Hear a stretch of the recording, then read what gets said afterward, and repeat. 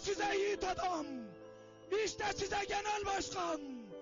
İşte size Türk dünyasının lideri. 1954 yılında Sivas'ın Şarkışla ilçesi Elmalı köyünde doğan Muhsin Yazıcıoğlu, ilk ve orta öğrenimini Şarkışla'da, üniversite eğitimini Ankara Üniversitesi Veteriner Fakültesinde yaptı. Hayatı inandığı çizgide mücadeleyle geçen Yazıcıoğlu, 1968'de Şarkışla'da Genç Ülkücüler Hareketi'ne katıldı. Muhsin Yazıcıoğlu, üniversite eğitimi için 1972'de Ankara'ya geldikten sonra Ülke Ocakları Genel Merkezi'nde görev yapmaya başladı.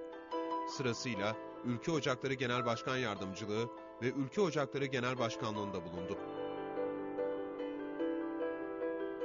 1980 yılına kadar MHP'de Genel Başkan Müşavirliği görevinde bulunan Muhsin Yazıcıoğlu, 12 Eylül 1980'den sonra MHP ve ülkücü kuruluşlar davasında yargılandı. 7,5 yıl Mamak cezaevinde kalan Yazıcıoğlu, bu davadan herhangi bir ceza almadı. Ancak cezaevi yılları çok çileli geçen Yazıcıoğlu, cezasının 5,5 yılını tek başına bir hücrede geçirdi. Mamak zindanında geçen yıllarını Muhsin Yazıcıoğlu aynı zamanda bir öz eleştiri yaparak şöyle anlatıyordu.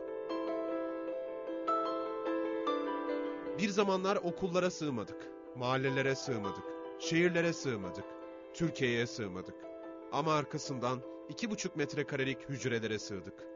Dışarıda birlikte yaşayamayanlar, hücrede birlikte yaşamaya mecbur oldu. Dışarıda yaşamanın yolunu bulamayanlar, hücrede birlikte yaşamanın kültürünü geliştirdiler. Yazıcıoğlu 1987'de Milliyetçi Çalışma Partisi'ne girdi ve Genel Sekreter Yardımcılığı görevinde bulundu.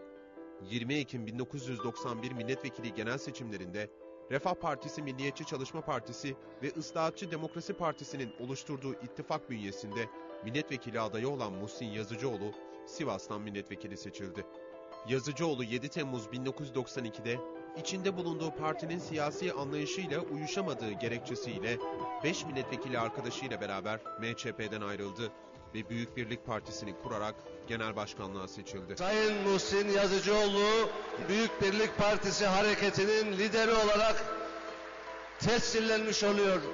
28 Şubat'ta Türkiye Cezayir olmayacak ama Suriye'de olmayacak çıkışı unutulmazlar arasına giren Muhsin Yazıcıoğlu 28 Şubat sürecindeki dik duruşuyla hafızalara kazındı. Geçmiş olsun. Allah korudu. Yani kaza ciddi oldu. Daha önce de 3 trafik kazası geçiren evli ve iki çocuk babası Muhsin Yazıcıoğlu 55 yaşında kendi tabiriyle sonsuzluğun sahibine ulaştı. Geride ise on binlerce gözü yaşlı seveni kaldı.